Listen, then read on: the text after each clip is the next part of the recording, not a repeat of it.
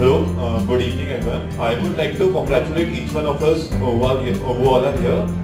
Uh, one thing which uh, made a difference for me and AJ, AJ was the content. Uh, be it any subject, uh, the content which is covered by AJ's is, uh, I think, uh, uh, more than any other coaching institute uh, all over India. Uh, uh, I, I did all my subjects at AJ only, so that thing made a difference for me. Thank you so much. I would like to thank all the faculties for uh, being supportive uh, throughout the journey. Thank you.